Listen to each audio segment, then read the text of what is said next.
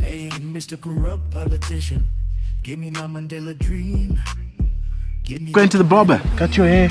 You cut your hair yourself, you check? Boom. I like it good. But look at you probably wanna maybe cut the kids' hair first, you know, save money there. I don't know. My family doesn't speak to me at the moment since I'm sending them to bed at 4 p.m. in the afternoon. 4 p.m. Yeah, it saves on electricity. That's yeah, that's that's hectic, man.